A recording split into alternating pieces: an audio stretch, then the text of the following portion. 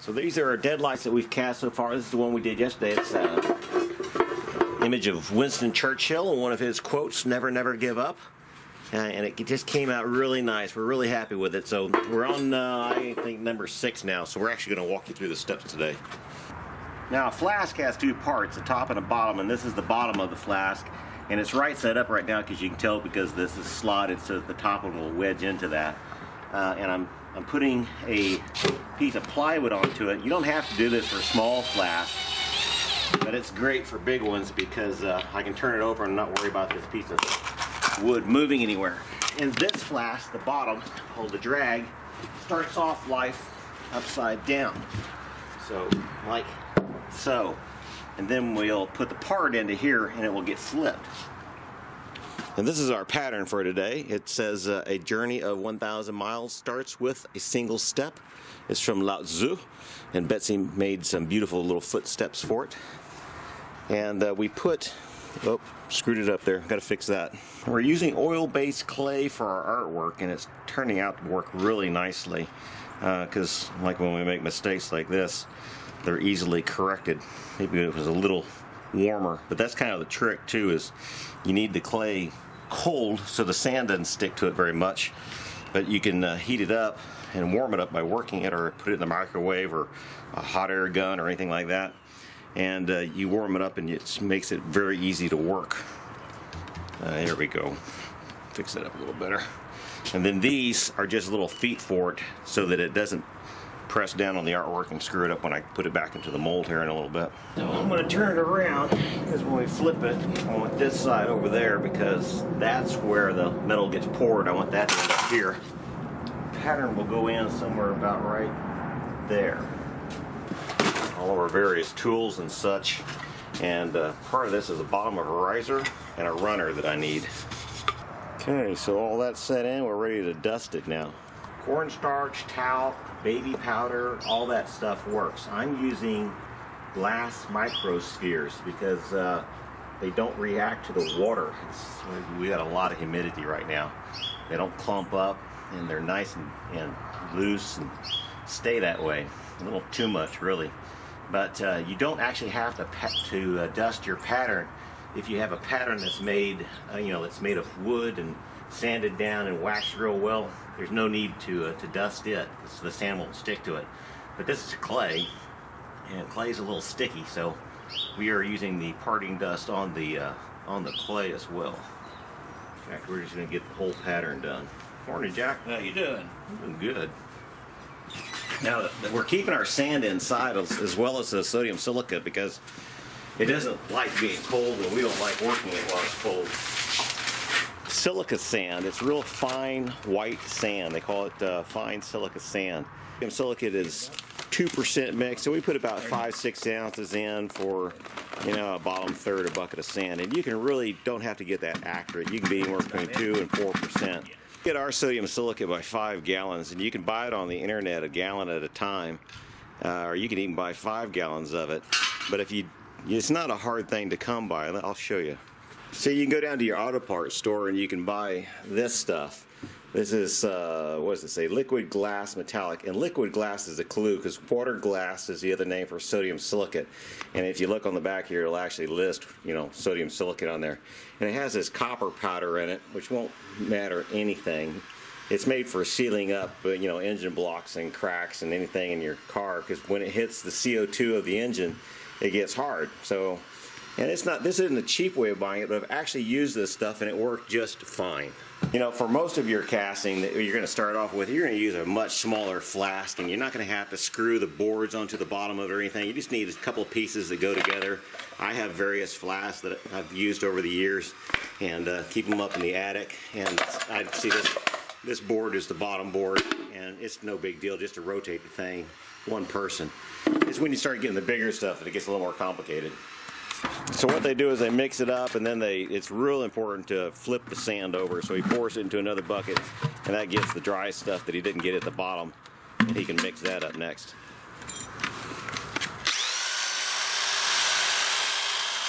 Now there's nothing harmful about these ingredients so you don't have to use gloves but uh, you can if you want to. The, the real important thing here is that the, the dust that I've used on the pattern, that's that glass bead, will move really easily. So what I want to do is I want to go out to the lowest part and just start sprinkling this on here.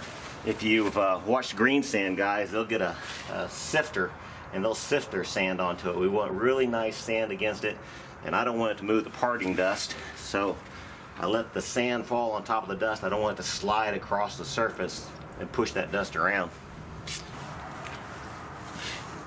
And once all that's covered up, I'm just to cover up my bottom of my riser and that runner. Make sure they don't move around. And now, if you watch the green sand casters, and that's a real popular thing. Hardly anybody uses entirely sodium silicate sand for doing the entire part. It's mainly used for making cores. I'm not going to explain cores. I'll give you a video link in the in the description of the video that's awesome, and you can go look at that. It's like 1940 something, and it's the Scots, you know, working in a foundry. But green sand has to be really rammed in hard, and sodium silicate sand does not. You just press it in, and I've already done this more than enough and that's it. That will get the mold. Now, I'm a little paranoid, so I'm going to press it in a little bit harder. That's all she needs. You kind of use your fingerprints like a, you know, sheep's foot on working on a roadway, and that'll be sure and get it in tight enough. If you want to pack more, go ahead, but it doesn't do you any good.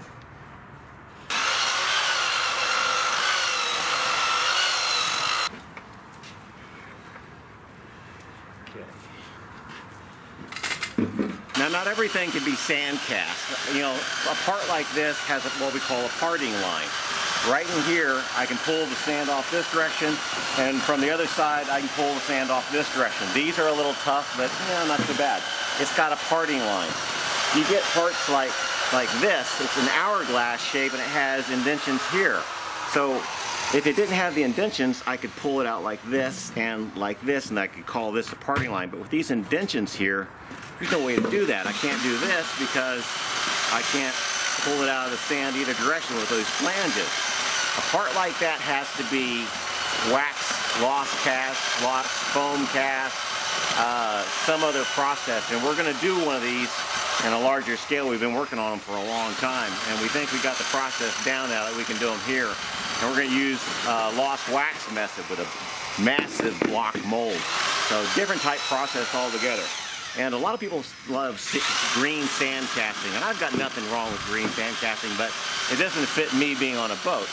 This stuff, I can pick up this stuff at a harbor, I can make a casting, I can cast the sodium silicate back into the ocean where it came from, and all is good. Green sand, you really keep the stuff, and you have to have a muller to recondition it, and it's it's it's more work. So if you're going to do something, just you know, constantly go into this hobby of casting, green sand's the way to go, and. Um, Mr. Pete uh, 222, I think, or you know, Tubal Cain, great guy for learning casting from. Also, My Ford Boy, another great channel for learning uh, casting from. Both those guys use aluminum. Um, there's there's guys out there doing cast iron, bronze. You know, I've done some nibral stuff. Uh, so there's all kinds of good good things for green sand casting. My green, I've never used green sand. I've used Petrobond. Petrobond's a nice intermediate step. It's expensive, so for small things, it's great. It's an oil-based sand. Uh, that's a good way to go. I think I'm the only guy on YouTube that's using sodium silicate for the entire mold, and it's not my idea. I got it from the foundries here. That's what they do. They often use an epoxy-based uh, mixture in their in their sand because they're doing big parts, and that that green sand doesn't suspend itself over these big parts. Look at that video. Uh, foundry practices in the description. This is an old video, but you'll see that they have big frames, you know, for handling this green sand. There's some guys out there that use green sand. They put frames across, and we'll even use a wire frame uh, for casting these later on today. You'll see it.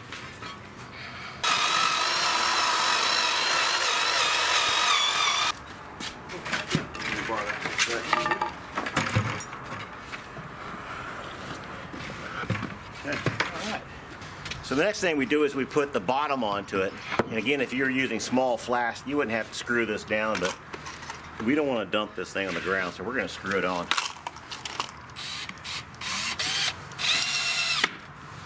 Up, back, gently, roll it over.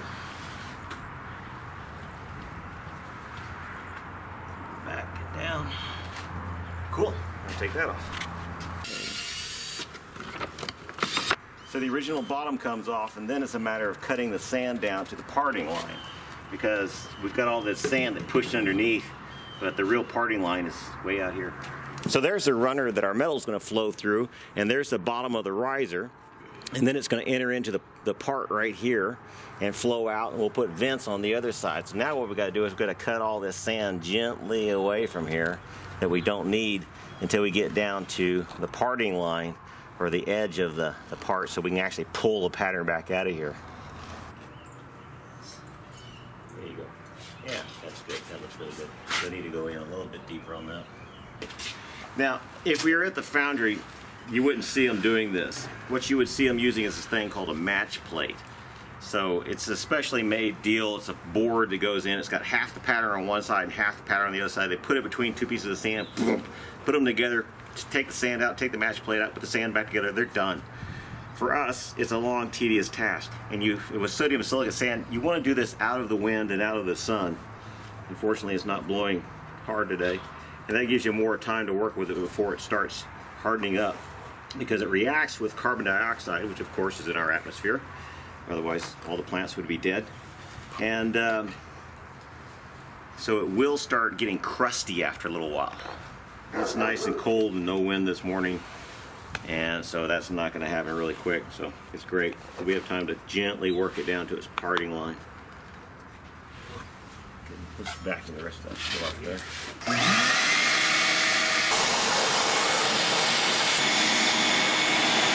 Now, it's been 30 minutes and our sand has definitely formed a nice crust on it. And you, let me, I'll push this away and you can see that. So that's just the exposure to the uh, CO2 in the atmosphere. So that's what happens. You get about 30 minutes to working time with it. And we got this really nice, I think. Now what we're gonna do is, we see when this hot metal flows along here, if I built the flask bigger, I'd have two inches of sand. I got less than a one inch of sand right here in the corner. So what it does, it gets too hot and it's always flowing through here, so it's really hot. And it eventually it, it leaks out because uh, the heat means the, the aluminum is thinner. So you can see where it's burned up the flask doing that. So what we're doing is we're gonna take a piece of uh, sheet metal or just flashing and put in here uh, and that'll keep that sealed up much better. Yeah, it's gonna do all right. Now, Hugh Hood came up with this other idea. Is we we drilled holes through it, and that allows this uh, this probe to go way underneath, and we can inject CO2 gas. Uh, it's just welding gas for us. You can make CO2 gas by various methods, but it's easy to buy in a tank. If you don't have it in a tank, let me think of a method you can make CO2 with. Well, you Shell can. and hydrochloric acid. You can breathe all over it. What'd you say? Shell and hydrochloric acid. Ain't that Uh, what we? acids and lots of things will make uh, CO2. Seashells. Seashells? Yeah. Calcium? Uh-huh. Okay. Uh, look it up on the internet. I bet it's there. Um, oh, dry ice. That's the easy one. Just let dry ice uh, sublimate inside of a container, and you've got CO2 gas. Sure enough, Of course, the air, you know, eventually will get through it, just the, the atmospheric air, but this speeds the process up by a day. And the nice thing is we're injecting gas underneath this pattern, so it'll flow out through there. And the way you know you're doing it right is first off, when you when you pull the probe back out, you should feel more tension because now the sand is hard around the probe rather than being that soft stuff. And uh, you ought to pull it out every once in a while and make sure you're still flowing gas and haven't clogged it up. So we got a little tool here that we can open it back up with. And the other way you know you've done it right is because when you go in uh, down the side later on, you'll feel that it's hard. If you find any soft spot, just redo that area. So this is a kind of a boring process here, but works really good for us. You know, it's like everything. There's not one way of doing it. There's not a way of doing it. I always flinch when I hear somebody say, "Well, the way of doing." That's not the way. There's always a way. Everything should be able to be modified. I mean, how else are you going to invent something new if you don't uh, have an open mind to doing something a little bit different? crack the whole surface. Right, that's exactly what he's doing now. He's going around and he's poking holes through the top where it can go through. So where it doesn't go through, it means it's already gassed good enough, and uh, so it's just kind of like a secondary check. You know, if it goes down half an inch, it's it's already It's already hardened up good enough. So the next thing we do is we pull our pattern out. Now this is something you normally wouldn't do. You normally would not pull your pattern out at this stage. You'd go ahead and make the the, uh, the cope up, which is the top part, and it's sand. But uh, we're kind of paranoid, and we can do it easily enough. So the reason we pull the pattern out this is because we can see if the lettering and everything came out on the inside nicely. If it didn't, we might just throw the whole thing away. And if we made up the cope, then we'd have two parts to throw away. So we don't want to do that. So we're going to do something that's a little unusual and we're going to pull the pattern now. Those of you that know me ought to be impressed that I actually own a brass hammer. Not all my hammers are framing hammers. Now we're going to take the bottom of the riser out just because the handle of the pattern will hit it a little bit if we don't. Okay. Now let's get our boards to go across here. You, you can put yours. No, you can't really, can't. Okay. Your, gen, your end generally comes up a little easier. Let me try and rock mine a little bit. Now don't get in a rush when you're trying to persuade your pattern to come out. Look for where it might be hanging up. We know we got it loose on that side over here, but I think this handle here is stuck. So we're gonna dig it out a little bit. Any sand you dig out, it's not a huge deal if you're gonna use a grinder on it anyway, which we are, especially along the parting line you're just to get a little more extra metal there. So it's just something you can grind off. So you know, it's nothing to get too worried about. That's definitely where we were stuck right here.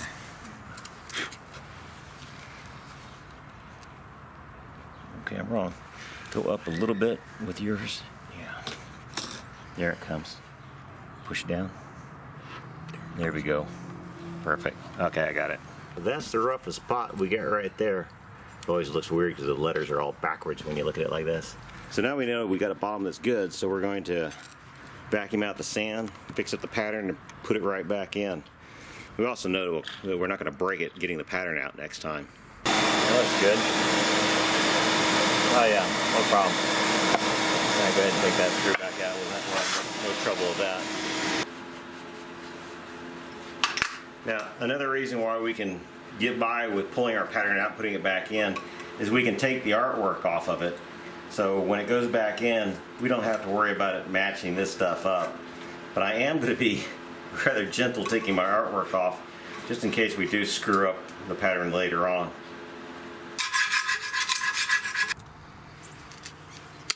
Okay, so we got our letters off and we rinsed the sand off, vacuum out the bottom. It's a matter of getting it back in without causing irreparable damage. That is good.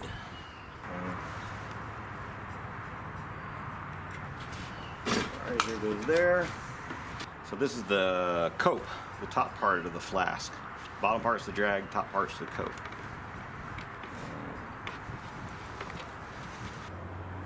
I don't want huge amounts of it on the part like that. Now that worked pretty good. But I can get a lot of it over the sand. That just doesn't matter. I don't want the sand sticking to the sand. So guys, these will be the vents here, here, and here, right? When the sand goes in.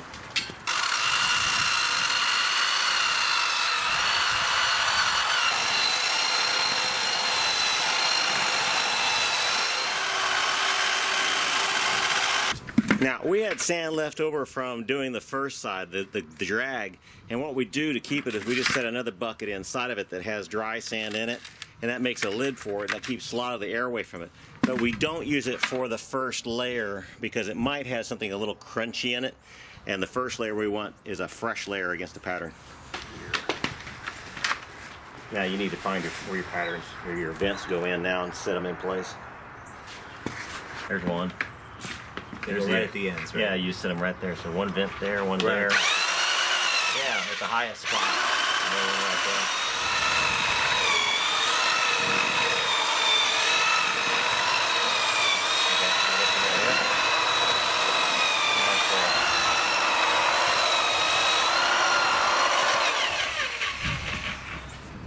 Beautiful. And then the force.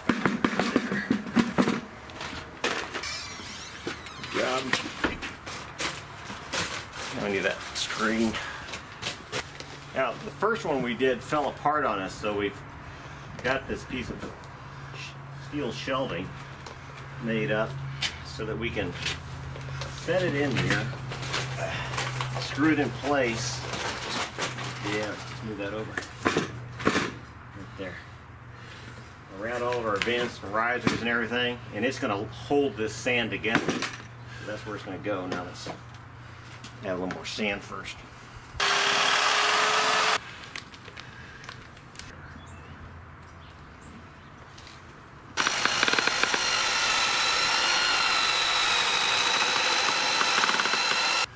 I don't think we have enough, Jack.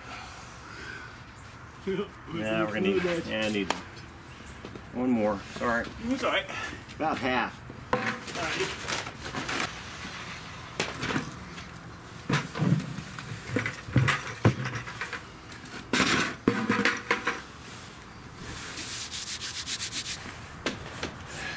Yeah, that's more than we need. But now the trick to putting the gas in is just drive it all the way down. Try not to touch the part, but uh, he'll work his way out from the center there, and he can feel when he drives it down the next time as to whether he's hitting stiff sand or not. If he's not, then he'll linger there a little more and put a little more gas in and make the next hole a little closer. If you cast, you got a great way of getting rid of your old motor oil. Uh, yeah, just all of it will be fine. I want to thin down that uh, oil with that cold oil and not go through the burner real well, but we thin it with that paraffin, it'll be fine. Now the next trick is to take the cope off and get our pattern out and then put it back together. And to do that, I like to go to the corners and just barely lift up on it, and that's separating the pattern. Leave a screwdriver wedged in there. Do that on all four corners and then we'll pick it up.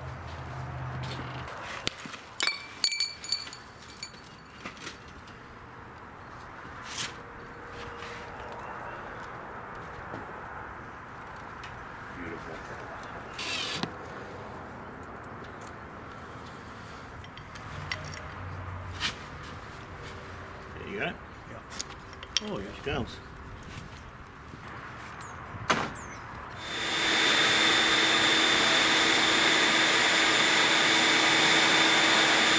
Shit.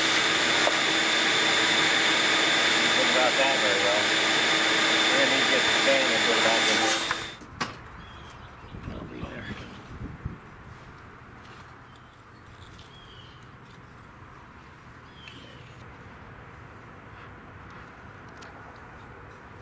Beautiful. Horse spout, three vents, fast, we're good. Okay, now when we flatten it out, we gotta do it out here so any loose sand falls out out here, not, it's not on the mold. Ready? Can we lift? Yeah. Lift. Yep, we're good. Good. Very gently on the tabs. Let's go real slow here. Okay. Go down. You your tab into place, Jack? I think so. Put down at it. There you go. There you go. Yep, I'm good. I don't feel any No, resistance. stop, stop. Toward Jack or toward me? Toward Jack, if you can. That piece of wood's gonna stop. You down, Jack? Just gently. Sounded all right. We're down. Okay. Okay, I'm not going to go into detail on the burner and all this rig because I got other videos on that. We basically we burn uh, propane to start off with, then we go to a kerosene diesel motor oil mix, and uh, Super Dave built me the burner. It's a fantastic burner. He'll even do cast iron if you want to. So uh, more on uh, we'll give you a little bit more on that, but not much. Um, this is a clay graphite number 35 crucible, and they're available through various uh, foundry supply houses. Um, but it doesn't matter which one you buy from; they're all going to come from China, and they're all very varying degrees of, of good. Now, in the bottom of this, I have a plinth down there, which is just a piece of refractory block, and you can see the end of the burner pipe coming in there, so it kind of passes by and swirls around. Normally, we would put a piece of cardboard between these two, and the cardboard burns and it stops the two from sticking to each other. But aluminum is only 1300 degrees, so it's not necessary. That's when you're doing something like you know nibral or cast iron. And uh, I'll go quickly over this. It basically uses a propane line which just goes into it and burns. You'll see that happen first. And then it has an air line for uh, compressed air. That causes a uh, Venturi effect and sucks in the diesel flu- fluid through a, uh, a special nozzle inside. And then the vacuum cleaner motor, just a three-stage vacuum cleaner motor, to uh, blow in air, and that's just gobs and gobs of air. So what we have then is a um, is a speed controller normally used for routers, and we can uh, slow down the uh, the vacuum cleaner motor and speed it up to the appropriate, you know, whatever we need for air. There's a regulator on the air line, so we can, because I run 120 psi up to here, and yeah, I don't need 120 psi going to there. And there's a fuel filter on the uh, oil intake line. And that's pretty much it. Okay, so what he's going to do, is he's going to light that hand torch and he's going to put it down inside the furnace and uh, then he'll turn the propane on once he's got a flame inside there. You never want to let the propane gas build up, otherwise you'll get a, a nice little boom.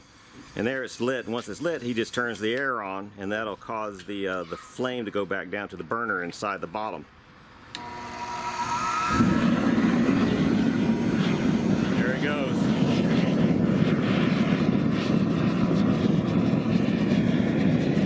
Now we'll let it warm up on uh, propane because the diesel doesn't burn well when it's not hot. Now we're stacking our uh, cold aluminum around the top and what that does, it warms it up and gets it dried out. You don't want to introduce any uh, wet aluminum into a crucible that has molten aluminum in it, otherwise you'll get a little splatter and blowback. Okay, it's nice and warm inside, so we can flip over to uh, running diesel instead of propane.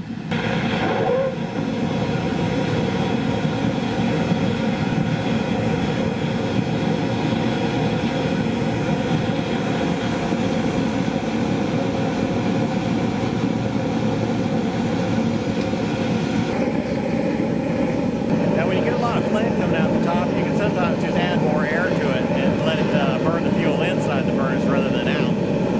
Like that. You can see when it's doing right that the, the flame actually swirls down inside there, so it goes around several times before it comes to the, the sight hole or the vent. And uh, we're going to wait for that aluminum in the bottom to be molten before we start adding any more. And when it works really good, parting line looks like. So it's one of the things you'll have to remove with a grinder. Now, once it gets going, it goes.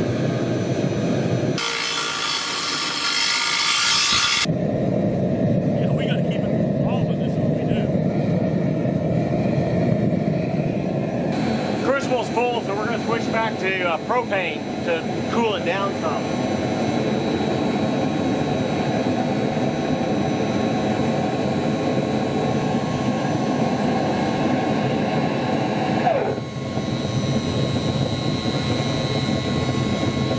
The next thing to do is to skim the dross off. It's all the crap that flows to the top. And it's just a piece of steel on a stick. Sweep it around like a spoon and throw the dross out.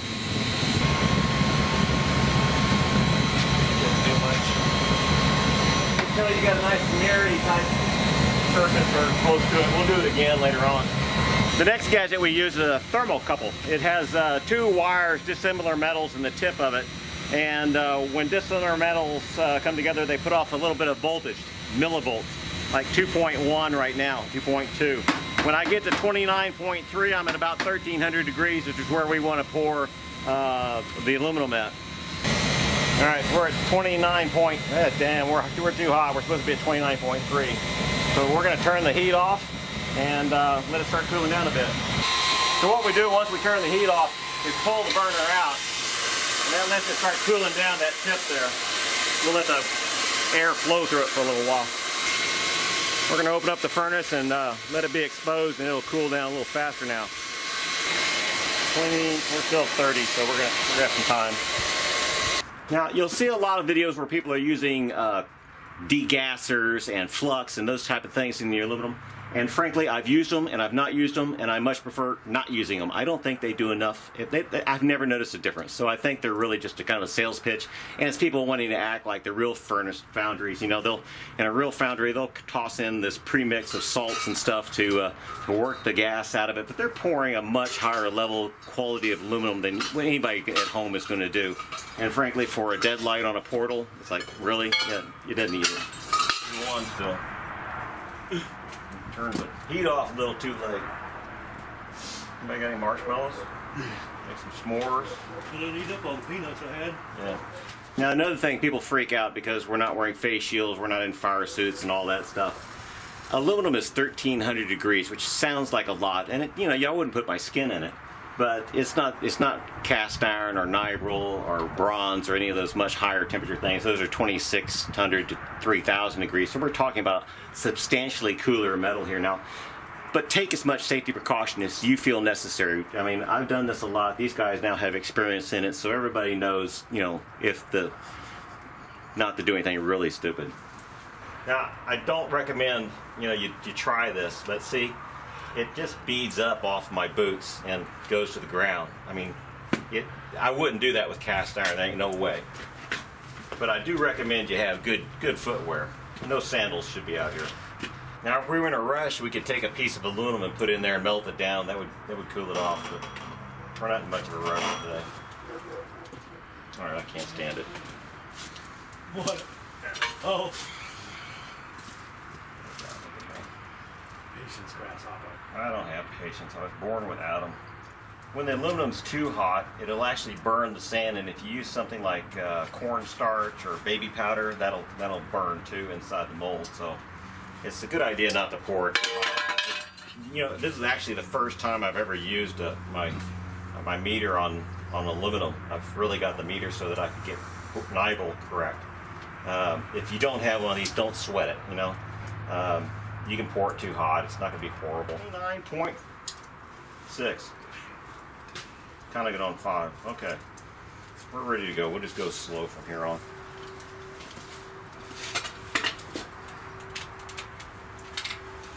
So that metal's at about 1300 degrees now, and we're gonna get one more skim of dross off of it, and then we'll walk you through the tools here.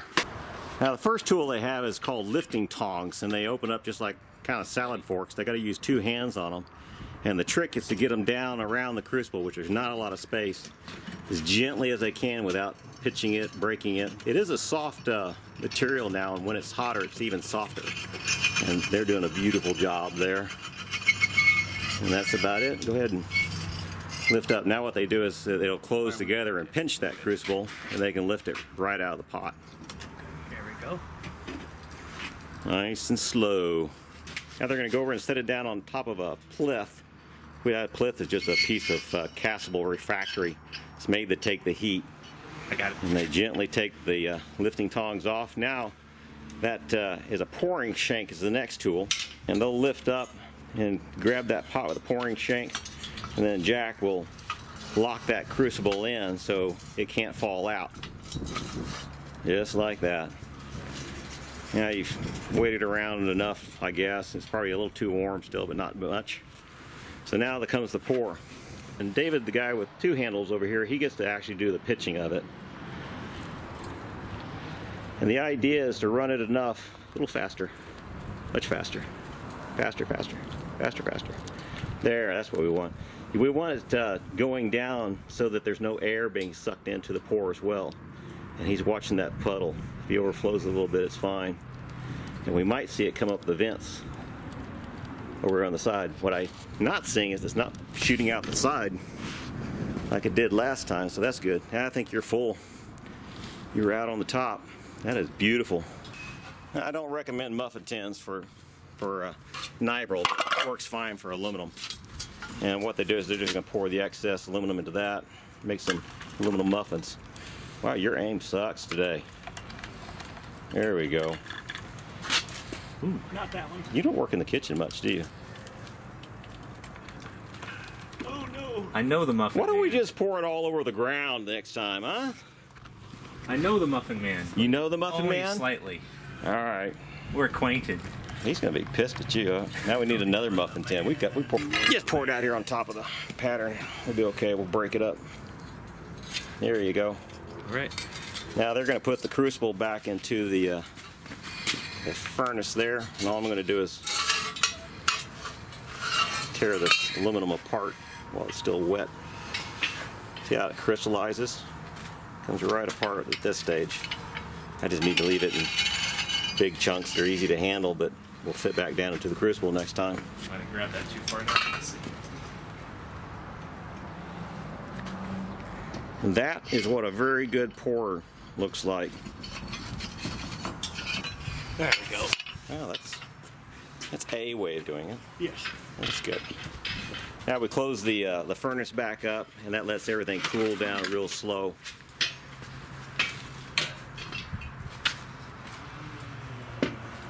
And put that plinth on top to plug up the vent hole on it. And that'll seal it up. It'll still be warm in the morning. Yeah, it's about a 10 minute wait. Yeah, it depends on how big your uh, your mold is and how much aluminum you have inside, but 10 minutes is going to be safe. We'll probably, you know, it'd be a really sad thing to do all that beautiful work and then destroy it because you just didn't have patience. That sounds like something I would do. Now, the way this works is the pouring cup takes the metal and it, we don't pour right down into it. It rolls around a bit and then it goes in gently. And he poured it beautifully because it never had enough time to suck in any air. So we want the air cut off. So that's the right size sprue. That's the part that goes down. And then it runs across this runner between here and the riser. And any of the uh, contaminants, the dross that I didn't skim out, will float to the top and it will stick to that, that runner. Uh, I learned that from a foundry here in town. Then it gets to the riser and it goes down into the bottom part of the riser first and any heavy sand or crap will stay down there in the bottom. Then it floats up and it starts going across our part over to our three vents. And uh, it didn't come out the vents, which is perfect because at this temperature should just rise up them a little bit and we can actually look down in those holes and see a little bit of aluminum. The trick here is the riser. The riser is this big massive part that comes all the way up to here and after the part is filled with aluminum, some of that air actually pushes through the sand, so it'll actually fill even that, that bulbous part out here in the center by just pushing air through the sand. Once that's all done, though, it's going to start cooling, and when aluminum cools, it's going to shrink 2%. Uh, and that's just a rule. All metal shrinks about 2%. But what happens, the last thing, while this is filling up and making this pool that stays in here, this riser is filling up. So the very hot metal at the last of the pour goes into this riser. I mean, it's been coming through here all this time. That's why we've had problems with it burning out the veg. It's really hot over here. That thing is cooking, it's really hot. And so it fills up with this really hot metal, and then that's the secret. Because as the part starts to cool, it, it shrinks and it needs more metal. And it's still fluid in the center, especially over here. It's coldest around that edge. So it starts chilling over here and drawing metal, and it sucks metal out of the riser. I've measured these and we're only getting 1% shrinkage on the part, which means it's filling in 1% from here because we know it shrinks 2% if you just do nothing. Risers are a wonderful tool. Learn that from one of our local foundries too. Let me open this riser up for you.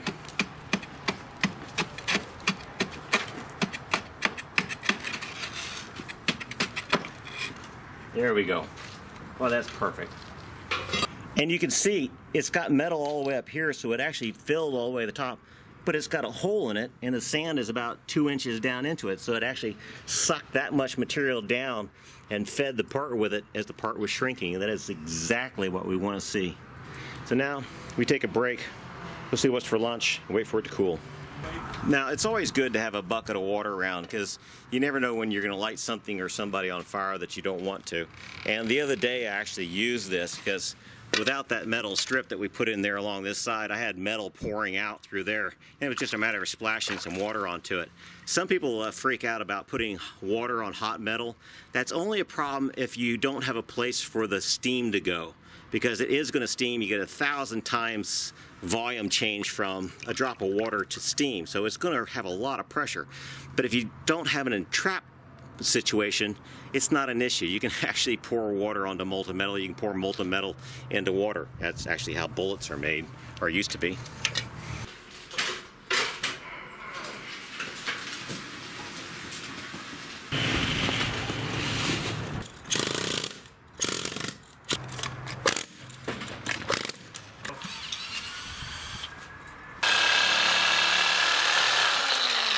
in there. Where you go? The over, so it's probably on the ground over here.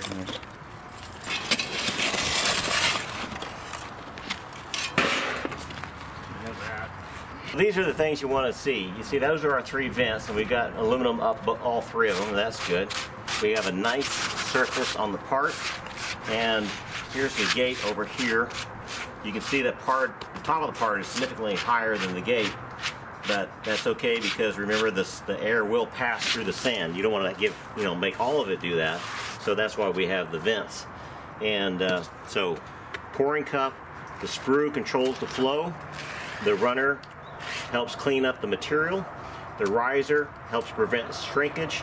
And usually that last hot feed into the part as it cools off. But what we got here is a beautiful part. And right here you can see why we put in our little metal dike is because it's so hot here it just gets thin enough that it'll come out between these parts. You know, normally a bigger flask, like I said, would work, but so does this little metal dike in here. Once it touches it, it bleeds off all of its heat and stops it. A little warm? Oh, yeah. Let's see, where was the word step? See, there's a little bit of you know, crap down the Yeah. side of step. Not much at all. I'm not even. I'm not even much Seven miles. There's a little bit on that E. Starts with Yeah, a the single E, step. the middle of the E fell out, but you can still read it. Yeah. fine, so I'm good with that. You see, and here's what I'm talking about. There's a little break in the sand there, so we got some extra material, but that is not a big deal to just grind out. And you can see the the little flash that comes out around the parting line. Also, that's not going to be a problem to, to grind off. And that it looks very nice.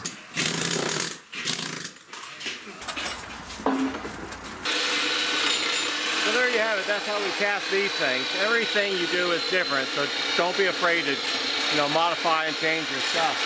But uh, it's a wonderful thing to do to see a liquid go into a solid and have a part